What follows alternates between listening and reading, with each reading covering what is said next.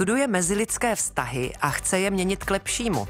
Přesvědčuje lidi pro své akce a když ti to souhlasí, po desítkách či postovkách je třeba přestěhuje. Z moravské výsky do Londýna či z ukrajinské do Čech. Nebo je přiměje k lelkování. Za své práce získala prestižní ocenění literární, výtvarné i architektonické. Přitom se do žádné škatulky vlastně nevejde. Ale to, co dělá, je vlastně srozumitelné a snad i proto se o ní zajímají slavné světové galerie. Architektka mezilidských vztahů Kateřina Šedá je hostem dnešní Osobnosti Plus. Dobrý den, vítejte Dobrý ve den. studiu. Od mikrofonu zdraví a příjemný poslech přeje Lucie Vopálenská. Osobnost Plus.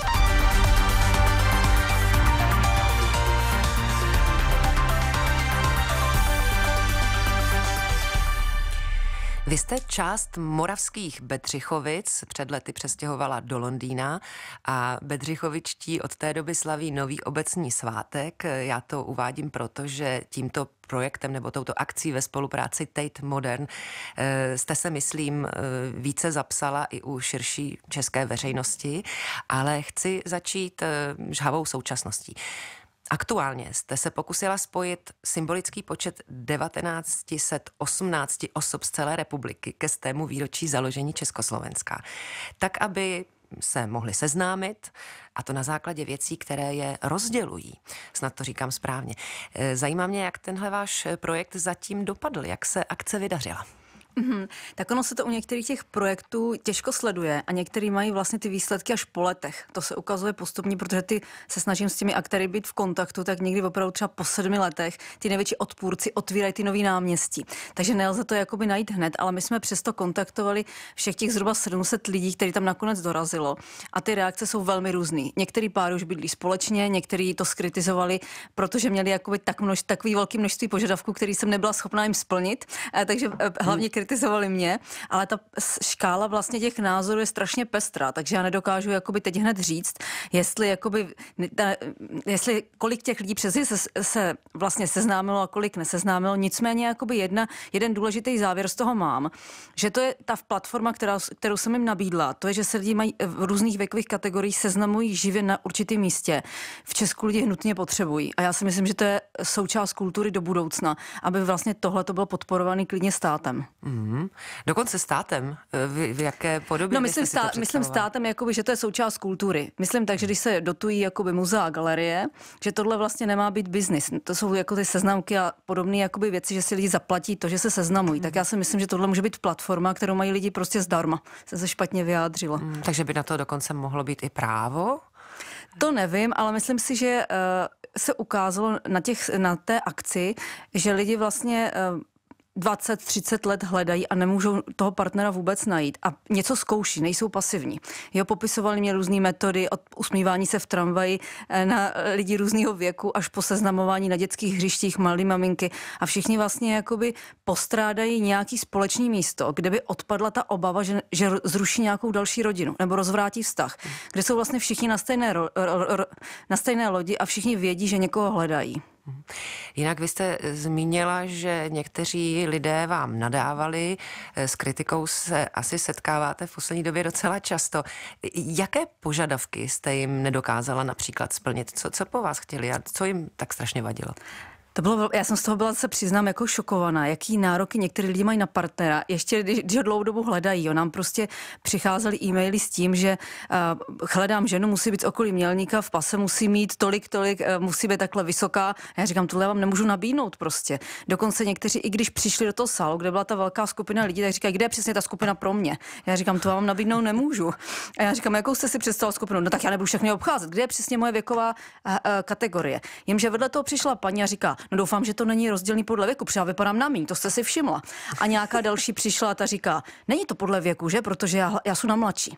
Takže já jsem vlastně přemýšlela nad tím, jak takhle velkou nesourodou skupinu jako spojit, aniž bych vlastně uh, se, snažila jsem se jim samozřejmě vyhovět. Bylo jasný od začátku, že nehledám uh, tanec s mandarinkou mezi hlavama. Tohle já úplně nesnáším, tyhle způsoby seznamování. Zároveň se mi nechtěla uvádět do situace, kdy musí trávit 15 minut s člověkem, který je mi nesympatický, protože se ho vylosovali. Takže jsem jakoby složitě hledala platformu, abych je nějakým způsobem všechny uspokojila. A připadali si, že nejsou k ničemu tlačení. A to si myslím, že se nám během těch dvou dnů podařilo. Proto jsem z toho měla dobrý pocit i přes tu kritiku. A e, jak jste vůbec ty lidi scháněla a vybírala? Oni se vám tedy hlásili, ano? Ne, ta moje původní jakoby představa byla, že všech těch 1918 lidí najdu na seznamkách československých, těch je zhruba 150, takže my jsme je všechny našli a snažili jsme se těch 1918 lidí oslovit. Ale vzhledem jakoby k tomu času, který byl krátký na tu realizaci, eh, se ukázalo za prvé, že ty lidi pomalu odpovídají. Někteří na ty seznamky chodí třeba jednou za měsíc, takže nebylo možné vlastně to s nimi vykomunikovat. A potom se ještě eh, v té době vlastně objevil ten zákon o té ochraně osobních údajů a polovina seznámek nám zmizela. Takže my jsme přišli o ty kontakty. Takže jsem se rozhodla krátce před tou akcí, zhruba měsíc, že to otevřu veřejnosti. Takže se lidi mohli hlásit sami a tam se vlastně, eh, řekla bych, že to mohlo být jako 80% se přihlásilo vlastně samo na tu výzvu. Eh, jinak eh, já jsem měla pocit, že eh, zatímco zpočátku si o vás mohli lidé myslet a také starostové, protože mm, pracujete v různých obcích, myslet, že jste třeba trochu cvok nebo tak, tak jsem si říkala, že po různých oceněních už dneska to budete mít podstatně snažší v oslovování lidí. Ono to tak tedy není? No, to je jakoby strašně složitá otázka. Ono samozřejmě jakoby to, že si mě najdete na internetu a přečtete si nějaký ceny, tak samozřejmě vyvolává v lidech obavu, aby nevypadali jak hlupáci, když mě řeknou okamžitě, když mě okamžitě skritizují. Ale samozřejmě ty obavy jsou. Eh, starostové se ptají, no jak z toho vyjdeme my před tou veřejností. Chtějí po mně vlastně záruky, které já nejsem schopná nabídnout, protože ta moje práce naopak lidi vlastně nutí z té komfortní zóny výjít, vlastně z té zóny a snažit se vlastně sami sebe uvidět v novém světle. A já nejsem schopná jakoby já nejsem politická strana a často se setkávám s tím, že lidi i, polit, i politici, teď to říkám teda trochu komicky, eh, po mně vlastně chtějí tyhle ty záruky. Abych ten, já se snažím sliby dodržovat, ale samozřejmě jakoby ta, ta, to, co se na konci stane, je otevřená platforma. V Českém Krumlově jste najala lidi na to, aby normálně žili v centru. Teď o tom budeme mluvit. Už tento experiment skončil a začínáte vyhodnocovat, eh, nebo právě teď kulminuje, řekněme? No, ta samotná akce probíhala tři měsíce od června do srpna. To znamená jakoby přesně v, eh, v té době, kdy je Krumlov nejvíce narvaný těmi turisty. A v téhle chvíli jsme ve, vlastně ve fázi, kdy analyzujeme ty závěry nejenom těch rodin, ale i těch místních obyvatel. Protože to pro mě bylo velký překvapení a zároveň podstatná součást projektu, jakým způsobem reagovali ty místní na ty rodiny, které já jsem tam přivedla, nastěhovala, jakým způsobem se vyjadřovali o Krumlově a výsledky toho bych potom chtěla představit na jaře příštího roku v knize, která vyjde a na výstavě, která bude v Egon Schiele centrum v Českém Krumlově. Čili teď ještě o tom úplně mluvit nemůžeme? Samozřejmě něco říct můžeme, ale ještě nejsem úplně ve fázi, abych eh, řekla úplně přesně konkrétní závěry. Samozřejmě. Dobře, já se zeptám trošku jinak. A pro posluchače také eh, upřesním nebo eh, vysvětlím v Českém Krumlově a současně i na letošním bienále v Benátkách jste upozorňovala na problémy turisty přetížených center měst, jež se mohou pišnit oceněním agentury UNESCO. A vy jste založila firmu UNES. Co? protože je vlastně otázkou, co ještě takové centrum eh, pod ochranou UNESCO a hlavně místní lidé unesou. Tak eh, co se teda už bezpečně v Krumlově ukázalo jako neunesitelné? Já myslím, že těch věcí je hrozně moc. To já těžko jakoby řeknu jako jedinou věc, eh, nebo jediný poznatek. Těch eh, věcí je spousta. Nicméně pro mě... Ten největší byl... problém, řekněme. Myslím si, že největší problém je ta frustrace místních obyvatel z toho, že vzhledem k tomu, že mají pocit, že to centrum jim někdo ukradl, můžeme se bavit samozřejmě kdo a jestli se neukradli sami, tak vlastně oni za to nemají žádné výhody. To si myslím, že je jakoby jedna z nejvě, nejvě, největších problémů současnosti. A myslím, že i radnice jako řeší. Jakým způsobem vlastně uh, regulovat ten turismus, jak z něho vybrat víc peněz a jak udělat nějaký úlevy těm místním obyvatelům. To si myslím, že je důležitá jakoby věc pro Krumlov. A teďka eh, vlastně zpět k tomu, co jste naznačila, eh, jak se tam vlastně snášeli ti lidé, které jste do centra Krumlova přivedla a vy jste je ubytovala, dala jste jim byty a mzdy za to, že budou jen tak normálně žít, i když to asi nebylo vůbec jednoduché, tak jak se snášeli s těmi, eh, kdo tam, kdo tam prostě byli ještě před nimi? No bylo to, Byl to pro mě hrozně překvapivý. Eh, I ta agresivita, kterou to vlastně vyvolalo v těch místních obyvatelích, naštvanost, ty reakce byly velmi rozprůplné. Já bych jenom opravila, že ty rodiny, které jsem nastila do centra, byly částečně i z Českého Krumlova. Ano, jo, nebyly ano. to jenom jakoby odinut. Nicméně eh, vlastně největší jakoby problémy vyvolávalo to, myslím, u těch místních obyvatel, že měli pocit, že jim tihle říkají, jak mají žít v tom centru Krumlova. Ne, že to vlastně zkoumají a snaží se na to nějak přijít z jiné perspektivy, ale oni vlastně na mě někteří jako na ulici eh, křičeli. Já, to, mě to uráží, že prostě mi tam někdo předvádí, jak já to mám jako dělat. Já říkám, ale vám nikdo nic nepředvádí. Nějaká paní mi napsala, na protest proti vašemu projektu budu chodit po centru města se psem. Já říkám, tak to je dobrý, to se vlastně do toho to je projektu účastní. A pro mě to bylo hrozně zajímavé a ukázalo se, že v okamžiku, kdy vlastně opravdu pracuji s tím motivem krádeže a to centrum se mi vlastně symbolicky opravdu odcizila, že oni od něho vlastně začali bojovat. Je to takový jako princip na druhou, ale to mě vlastně na tom zaujalo začali bojovat o to centrum města, aby eh, to neukradli ani ty druzí, prostě najednou byli v konkurenci, jak teda eh, jsem pochopila. Ale eh, zkuste to ještě popsat, právě ty vaše zkušenosti z těch tří měsíců, které jsou už za námi. Co se tam vlastně dělo? Jak ti lidé tedy normálně žili a co dělali? Vy jste mhm. totiž sepsala i docela dlouhý seznam ohrožených činností, mm-hmm. ještě předtím, to jste, myslím, uváděla právě v Benátkách na Bienále. Takže jaké činnosti činnosti, jak oni tam žili vlastně ti lidé, mm-hmm. jak normálně žili? Ty činnosti, které jsem se sbírala, byly inspirované lidma, kteří tam bydleli a samozřejmě nebyly to věci, které se jenom odehrávaly v Krumlově, byly to i věci, které by si lidi přáli, aby se v Krumlově děli a ty měly sloužit jenom takové jako inspirační zdroj, aby ty lidi vlastně pochopili, kteří se tam nastěhovali, ten kontext, co ty lidi zajímá. Nicméně neměli se tím řídit. Já jsem vybírala na tom výběrovém řízení, se vám přišlo 1500 rodin. Já jsem z nich nakonec z 25, který jsem pozvala do do Krumlova vybrala 15 a snažila jsem se, aby byly velmi rozdílný. To znamená nějaká rodina, která je přímo z Prahy 1, může to porovnat s tou zkušeností rodina z vesnice na Moravě, rodina, která má pět dětí, zároveň cestovatel, který žije sám, dva seniori, kteří bylo 80, kteří si mysleli, že jsou v cizině první týden a vůbec nevycházeli z domu. Takže ten způsob toho provozování normálního života byl tak rozdílný, jak byly ty rodiny. Jo, některá, některá a které se... rodiny tedy uh, způsobovaly ty největší problémy nebo konflikty? Všechny. Všechny. Už jenom ta pouhá přítomnost. Já myslím, jo? že to, jo, přesně tak. To oni, já myslím, že tam nebyla žádná konfliktní rodina jako primárně. Já myslím, že ten problém byl, že oni se chovali na té ulici, jako by tam provozovali činnosti, které nejsou na té ulici normální. A oni to znamená, co se dělo to, na ulici? To znamená, že se třeba opalovali, nebo se tam rozložili deku normálně na ulici, kde chodili turisti, nebo se tam slavili narozeniny. Ale to by ale normálně nedělali. Nebyt vašeho projektu eh, samozřejmě. No samozřejmě. A teďka vlastně jako by provozoval nějaké činnosti a ty místní říkali, tohle se tady dělat nemůže. Najednou se v průběhu ukázalo, že se to dělat může. Že vlastně ty místní logicky vyklidili pole těm turistům, přesně na těch ulicích vlastně nedá normálně fungovat. Nebo si řeknu jednou, že vytahli lavičky. To je není vůbec běžná věc, tam se prostě jako nedá kde sedět. A já jsem se to všimla i um, při tom výzkumu, že lidi kritizovali to sezení, tak jsem požádala radnice, aby mě dala eh, několik laviček, že to zkusíme. A opravdu ty lavičky za první ten, první týden neustále kolovaly, protože nikdo před tím domem nechtěl. Nikdo nechtěl, aby turisti seděli před jejich domem. Takže pořád ty lavičky, jak, eh, jak vlastně na běžící dráze si někdo předával. Nakonec nám skoro všechny skončili před tou galerií, protože nikdo nechtěl ty lavičky. Jinak eh, mě zaujalo, že původně ještě, když jste dávala rozhovory před samotnou akcí v Českém Krumlově, tak se hodně opakovalo, že eh, ti lidé budou vlastně placeni za normální život. Jo. Ale právě to opalování se třeba na ulici někde na lehátku, to eh, nelze asi úplně hodnotit jako normální, protože norma je většina a většinou tohle lidé nedělají.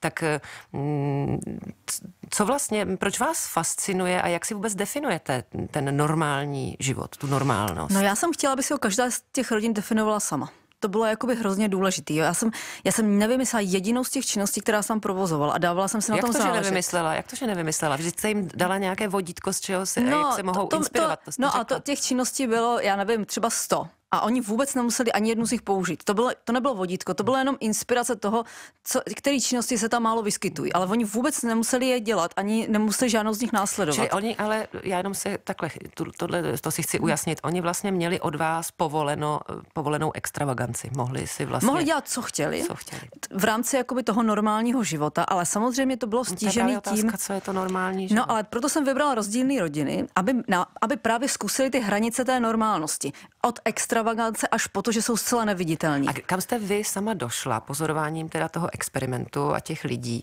Co je pro vás eh, hranice toho normálního života? Co je pro vás ještě normální a co už ne? Mm-hmm. No pro mě určitě jakoby normální je, že se, že si vlastně připadám ve své ulici, kde mám svůj dům uh, jako doma. To si myslím, že je hrozně důležitá věc, která se tam jako neděje. Tam, když vyjdete před svůj dům, tak se připadáte jak cizinec. A vlastně my jsme jakoby tím projektem ukazovali, a to si myslím, že se podařilo, že najednou ty lidi vylezli z baráku, kde jsou stovky turistů, oni si tam snažili si dát snídani to vypadá na první pohled hrozně jakoby, jako jednoduše, normálně, ale vlastně to vyvolávalo pozastavení těch eh, nejenom turistů, ale těch místních, že stali a fotili si je. A já jsem dělala průzkum u těch uh, průvodců, který provádí ty skupiny, jak, co, jaký je vlastně očekávání turistů od takovýchto měst, je, jestli vlastně vůbec něco očekávají uh, a? a co tam chtějí zažít. A, a třeba, no a je to rozdílný od národnosti. Například Japonci jsou vůbec překvapení, že tam někdo bydlí. Oni tam přijedou do toho Krumlova a myslí si, že to už tam vůbec nikdo není, že to je to skutečný skanzen skanzen. Potom jsou američani, který to prý vůbec nezajímá. Ty jdou prostě po architektuře. Takže vlastně každý ten průvodce mi řekl vlastně skoro jinou věc. A nejzajímavější skupinou byli Češi, který uh, jedna vlastně uh, maminka té jedné rodiny to hrozně zajímavě uh, definovala. Říkala, že měla pocit, že byli jako naštvaný, že potkali. Říkala, říkala ono to vypadalo, že my jsme si zaplatili Krumlov, cestu do krásného města, teď se tady vy. Jako s těma hadrama v těch oknech. A mi to přišlo vlastně komicky, ale něco na tom bylo. Ona zavařovala před barákem a to vlastně nikdo nechtěl. Lidi chtěli ty drahé kabelky a chtěli ten Krumlov na tom letáku. Takže vlastně těch věcí a těch poznatků jako spousta říká Kateřina Šedá, která je hostem dnešní Osobnosti Plus. Posloucháte Osobnost Plus Lucie Vopálenské. Rozhovory s významnými lidmi české společnosti. Premiéra od pondělí do pátku po půl jedenácté na Plusu. Vy jste v jednom ze svých předchozích projektů krásně probudila z letargie vlastní babičku, která, jak jsem pochopila, po smrti svého manžela propadla nějaké beznaději a všechno jí bylo jedno. A vy jste ji přiměla nakreslit nakonec 650 výrobků z domácích potřeb, kde dřív pracovala, včetně cenovek. A za tento projekt máte také cenu Jindřicha Chalupeckého. Ale nezůstalo jenom u vlastní babičky. Vy jste dokonce použila i své další nejbližší bývalého manžela, současného muže a dceru. A byl to pro vás projekt, eh, jak jsem se dočetla, úplně nejtěžší. Připomeňte ho, prosím, co jste vlastně ty tři dny dělali a jak to bylo obtížné? Mm-hmm. No já jsem se v roce 2009 rozhodla se svým bývalým manželem, uh, filmový režisér Vít Klusák, a vlastně jako uh, v té době mě hrozně začalo zajímat to téma rozvodu. Já se většinou zabývám tím, co mi nejbližší. No a když jsem to jako zkoumala, tak uh, to bylo zhruba po roce, tak můj současný manžel mi říká, nechápu, jak vlastně můžeš tohle zkoumat, když sama to nemáš pořádně vyřešený. Jo, a já jsem vlastně jako by opravdu trvalo to tři, čtyři roky, uh, se nebyla schopna vlastně s tím svým bývalým manželem setkat, vlastně podívat se mu s očí do očí, což je vlastně, vlastně vizuální problém, kterým já se zabývám. Tak jsem přemýšlela tehdy, jakým způsobem to zlomit. A my jsme tehdy byli na stipendiu v Římě a já jsem si řekla, že bych zkusil takový experiment, že bych toho svého bývalého manžela pozval do toho Říma a že bychom tři dny strávili všichni dohromady. Můj bývalý no současný. Souhlasil. On souhlasil. A dokonce s tím souhlasil i můj současný, což nebylo taky jednoduchý, jo, protože my jsme se nikdy neviděli dohromady. Moje dcera nikdy neviděla pohromadě mě a mýho bývalého, neviděla nikdy pohromadě oba dva ty muže, já jsem neviděla všechny pohromadě a teď jsme byli všichni vystresovaní. Byli. Jak ta, jo, byli hrozně. A jak ta dcera vlastně bude reagovat? Komu dá ze všech těch přednost? To si myslím, že taky všem běžel v hlavě. Jak kdo vychovává, Komu, eh, zní, komu, komu bude nejvíc to poslouchat? jako už skoro náběh na nějaký masochismus. je to určitě. Je to určitě forma masochismu a uh, často se mě nějaký lidi ptají na přednáškách, jestli bych to doporučila jako nějakou terapii, tak já jako by jsem trochu opatrná u těch věcí, protože některý jsou vyloženě šitý na míru, jakoby naší rodině nebo nějakému konkrétnímu místu a nejsou A mimochodem vám to ale přineslo nakonec eh, úlevu, nebo vám to pomohlo? Nám to úplně zásadně pomohlo a úplně to změnilo jakoby ten vztah, teda v mých očích a určitě, my jsme od té doby a úplně normálně ostatním, fungujeme. Když normálně fungujete, tak, tak největší prostě... problém myslím, že byl ve mně. Jo, největší mm-hmm. problém byl ve mně, že já jsem nebyla schopná vzhledem k tomu, co se stalo, vlastně s ním normálně komunikovat. Jo. A to se zlepšilo. Mě strašně zajímá, kde máte tu hranici. Kam až zajít v manipulaci s člověkem? Máte v tom nějaké hranice? No já si hlavně myslím, že to manipulace není. Proto se tím Takhle, vlastně... to slovo manipulace, mm-hmm. to bychom si asi měli říct. Samozřejmě manipulovat člověkem to zní pejorativně, ale já se vás jako mm, v podstatě ptám neutrálně. Jo? Ne, já tomu rozumím. Mm. Já tomu rozumím, ale já si i přesto myslím, nebo vůbec v tomhle jakoby neuvažuji. Já spíš uvažuji v tom, že to je nějaký typ animace, že vybízím lidi k nějaké hře a ty podmínky nebo ty pravidla jsou nastaveny, oni se můžou zúčastnit a můžou kdykoliv z té hry jakoby odejít. Jste si jistá, že můžou kdykoliv z té hry odejít? Je to takhle? Jo, ne, neznám jakoby jedinou věc, kdyby vlastně jsem někomu bránila, nebo s odstupem času mi to vytýkal. Cítil jsem se jakoby blbě, bl- ne, nemohl jsem odejít, nikdy jsem to, se s tím to, co vy, to, co vy říkáte, tak to předpokládá, že všichni lidé, se kterými pracujete, nebo prostě ti konkrétní lidé, takže budou schopni reflektovat eh, svoje pocity a ještě navíc je budou schopni, eh, teda tu, tu reflexi budou schopni vám sdělit. Eh, jde mi o to třeba v případě teda té vaší dcery a vašich nejbližších, tak jestli vy jste nezapochybovala nikdy o tom, jestli to není hm, skutečně ta, ta manipulace už někde za hranou? Ne. Já samozřejmě jakoby pořád se snažím vyjít z té své vlastní komfortní zóny. Myslím si, že to je hrozně důležité, aby člověk pořád vlastně jako eh, si kladl otázky i sám sobě. Ale Nasazujete vždycky, prostě sama sebe. Přesně tak, ale myslím si, že všechny ty kroky, které jsem podnikla, netýká se to jenom rodiny, ale těch míst, byly věč... Já jsem byla přesvědčena o tom, že pokud jakoby ty lidi se toho zúčastní a můžou kdykoliv z té věci odejít, tak by jim to mohlo přinést nějakou změnu. A ukazuje se vlastně s odstupem let v řadě těch věcí, že, že to byla pravda. A opravdu z těch věcí můžete, kdy, ten manžel se může kdykoliv sebrat a odejít a říct, já jsem se cítil blbě, ale oni to většinou všichni vydrží a všichni to jsou zopakovat. To je vlastně, myslím, že nejtypičtější věc těch mých projektů, že i když na začátku vyvolají dost velký odpor, tak s odstupem let, nebo často i na konci, je lidi mají chuť opakovat. No ale tohle musí být ve vás. Co to ve vás je, že dokážete ty lidi takhle a teď to fakt nemyslím pejorativně, ale neutrálně, že dokážete takhle zmanipulovat vlastně. No, nebo přesvědčit? To nevím. Myslím si, že je to určitě nějaká jakoby pravdivost v tom, že oni vidí, že jsem ochotná vlastně vsadit do té hry všechno. Tím myslím jakoby samu sebe. Ty první věci jsem dělala, neměla jsem prostě vůbec žádný peníze, teda nemám pořád, ale vlastně jsem trávila na té vesnici, s kterou jsem pracovala desítky hodin každý den, třeba půl roku. A těm lidem často vrtalo v hlavou, co mě žene k tomu, že to má vůbec smysl do toho věnovat takhle velké množství energie. Takže i v těch počátečních projektech si pamatuju jednu paní, která za mnou přišla a říká, já tomu nerozumím, ale mě tak zajímá, jak to, proč tomu někdo věnuje tolik energie, že já to udělám. A kdybyste se jí zeptala v průběhu té věci, ona nevěděla, co dělá. Takže vy byste mohla říct klidně, že to, to je blbost, jako, to je úplně zmanipulovaná, ona tam to. Ale vlastně to je jakoby jedním z těch důležitých bodů v té mojí práci, že zapomenete sám na sebe a zapomenete na to místo a zkusíte ho vidět znova. A myslím si, že to je hrozně problematická kategorie. Myslet si, že tohle je manipulace. Myslím si, že to je jedna z věcí, za kterých my vlastně máme ty aktéry nejvíc obdivovat. Že jsou ochotní se sousedama, s kterými se znají, nejsou ochotní se na něčem podílet, najednou vít v županech na náměstí a sami sobě se vlastně smát. Jo. Takže já je vlastně za to obdivuju. A jsem trochu naštvaná, když je někdo kritizuje, že nejsou schopni okamžitě definovat, proč to vlastně dělají ty věci. Jo, to ne, to, tomu já rozumím. Ale jinak, jaké máte vy postavení a jaké sama máte vztahy třeba se svými sousedy ve vlastní obci v Brně Líšni, kde jste také udělala, tuším, dva projekty. Jak když jsem se dočetla, že jste je třeba půl roku přemlouvala, podobně jako to dělají jeho vysté, tak eh, dejdete jim třeba už na nervy? no já ty místa hodně střídám, hmm. ale samozřejmě já mám k tomu svému rodišti rozporuplný vztah, jako by k řadě různých míst a vlastně myslím, že ten důvod, proč, to děla, proč dělám to, co dělám, je i to, že mě k tomu inspirovalo to blízké okolí, že jsem se snažila najít uh, nějaké řešení toho, co mě vadí a potom se to ukázalo, že to může mít nějakou obecnou výpovědní hodnotu, takže jsem v tom pokračovala, nicméně já s tím spokojená nejsem, s tím místem, kde bydlím a proto se s tím snažím něco dělat. Aha, čili e, úvaha, že se někam přestěhujete, tam není. No, samozřejmě, že mě to mnohokrát napadlo, ale uh, pořád mám pocit, že se člověk na určitém místě nenarodil náhodou. To je taková ta moje jakoby fakt utkvělá dětská představa, že mu vlastně něco e, dlužnej, takže se snažím něco změnit, ale určitě si dovedu představit spousty míst, kde bych chtěla bydlet. Proč to vlastně všechno děláte? Co je pro vás nejdůležitější, nejdůležitější motivací? Protože mm, pokud vím, tak už od dětství děláte v podstatě to samé e, a zajímá vás člověk, mm, obyčejný život, vztahy mezi lidmi.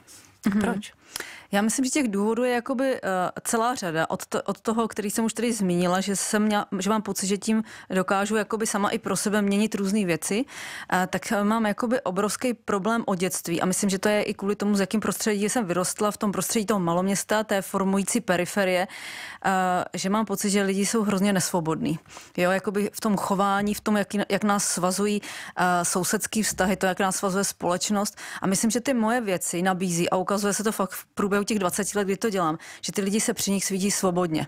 Že jim nabízím prostě na okamžik, může to být půl hodiny, může to být klidně den a můžeme si říct, že je zanedbatelný. Nicméně řadě z nich změnil život. Jo, já to mám páry, kteří se vzali na základě toho mého projektu a cítili se prostě jinak, než se cítili ve spoustě jiných situacích. A potom jako jedna z dalších věcí, a to bych jsem tady byla dlouho, je, že se snažím nabídnout uh, aktivitu, která by spojila všechny věkové gener- všechny generace. To myslím, že na vesnicích se vůbec neděje. Děti, aby sedmiletý dítě se bavilo jako 80-letý senior a vydrželi u toho stejně dlouho, to, to snad existuje jen u ohňostroje Vánočního stromku.